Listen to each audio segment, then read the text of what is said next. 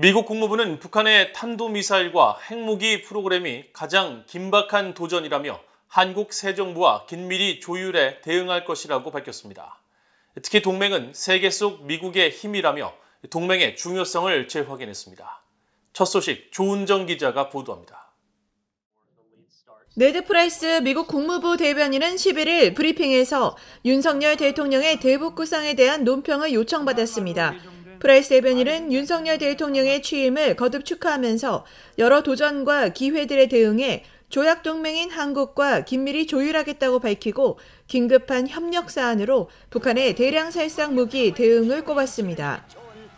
And of course, when it comes to challenges, uh, there is no more pressing challenge uh, than that posed by the DPRK's uh, WMD programs, its nuclear weapons, its ballistic missile programs. Uh, we will, as I said, coordinate closely to address the threats uh, that uh, they pose.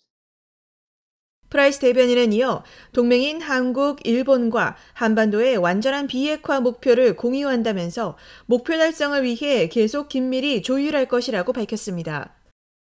또 북한에 대한 적대적 의도가 없으며 외교에 관여할 의향이 있다는 바이든 행정부의 원칙적인 입장을 재확인했습니다. 중국의 미한 동맹 강화 견제와 관련한 질문에는 동맹이 미국의 힘이라는 점을 강조했습니다.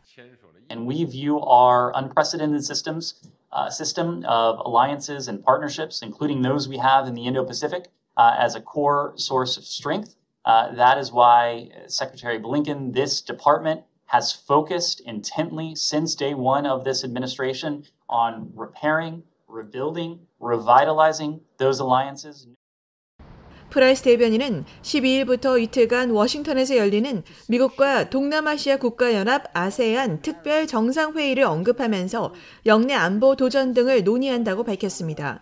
앞서 젠사키 백악관 대변인은 지난 6일 브리핑에서 아세안 정상회의의 의제로 북한 문제가 포함되어 있다고 밝혔습니다. VOA 뉴스 조은정입니다.